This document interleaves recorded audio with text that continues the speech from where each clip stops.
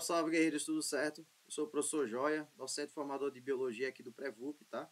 E no vídeo de hoje, pessoal, venho trazer para vocês né, algumas informações sobre o nosso conteúdo da biologia, né? O, o, objeto de estudo da biologia, que é a vida e os processos que a vida precisa fazer para sobreviver, né? Para se manter, para perpetuar a espécie aqui no planeta. Então, eu quero destacar, pessoal, que tem algumas coisas que nós, né, eu falar seres humanos e outros seres vivos também, né, tem algumas coisas que nós precisamos fazer sempre, né, ao longo da nossa vida para a gente se manter vivo, né? Então, nós, por acaso, nós, assim que nós nascemos, né, a gente precisa estar o tempo inteiro respirando, né? A gente também precisa beber muita água, a gente também precisa se alimentar. Então, por que que será, pessoal, que nós precisamos fazer essas três coisas, né? Sempre ao longo da nossa vida a gente não pode parar de ter essas três coisas de modo algum, né? Primeiro, pessoal, eu quero mostrar para vocês que a alimentação, né, ela tem três funções, né? A alimentação, ela serve para dar os nutrientes que servem para a energia que o nosso corpo precisa, tá? Então, a primeira coisa, a primeira função dos alimentos é dar energia, tá certo? Que a gente precisa para fazer as atividades do nosso corpo. A segunda função, pessoal, dos alimentos é regular as estruturas, tá? dar um suporte às estruturas que estão precisando de manutenção. E a terceira função, pessoal, é dar estrutura e dar materiais para que o nosso corpo se para o nosso corpo crescer e também manter sua manutenção. Né? Por exemplo, quando a gente sofre um corte, né, desgasta a pele, quebra osso, faz alguma coisa, né? De onde é que o nosso corpo retira os materiais para reconstruir tudo isso? Então a alimentação fornece esses materiais, tá?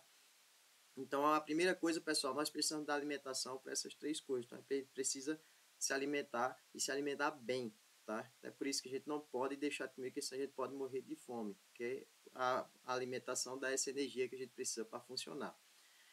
É, outra coisa que a gente precisa, pessoal, é beber bastante água. Mas por que, que a água é importante, né? A água, pessoal, é uma substância que ela tem um papel muito importante no nosso corpo. Ela, ela participa de todas as reações químicas que acontecem no nosso corpo.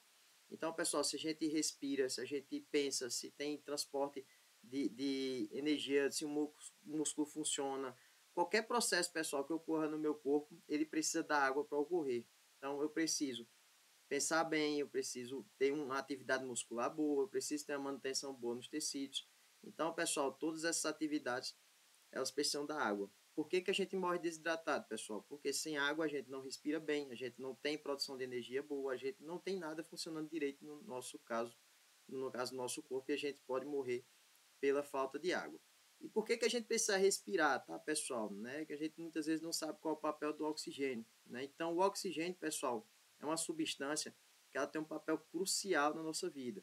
Então, se o alimento ele dá a energia e a água é responsável por fazer com que eu retire a energia desse alimento, né, ela ajuda a fazer esse processo. O oxigênio, pessoal, é uma substância que ajuda em pegar a energia que veio aqui do alimento tá, e ajudar na retirada dessa energia para que a gente possa utilizar. Então, pessoal, o oxigênio ele tem um papel crucial no gasto da energia. Tá? Então é por isso que a gente está sempre respirando, tá, pessoal? Porque à medida que a gente está respirando, a gente está gastando energia, a gente está usando a energia que veio do alimento para que a gente se mantenha vivo. Então, o alimento, pessoal, é a fonte de energia. A água é responsável por controlar e participar de todas as atividades químicas que acontecem no meu corpo. E o oxigênio, ele é o responsável por retirar a energia que está nos alimentos e faça com que a gente utilize e sobreviva. Eu espero que vocês tenham gostado dessa temática de hoje, tá, pessoal? Um abraço.